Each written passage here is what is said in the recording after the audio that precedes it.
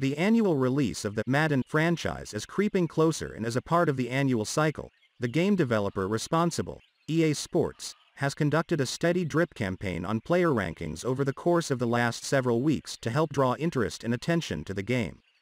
And they just dropped one of their biggest draws, the team overall rankings. Where do the Miami Dolphins stack up in the first release of this year's game? If you were hoping for Miami to be a juggernaut team, we've got bad news for you. EA Sports has the Dolphins ranked as a 79 overall, a figure that is tied for 22nd best in the NFL. The Super Bowl champion Buccaneers top out this year's rankings with a 92 overall and the Dolphins' AFC East rival, the New York Jets, bottom out this year's team rankings with a 72 overall. The Dolphins' defense is also give a score of 79 out of 100, although that ranking is better relative to the rest of the NFL.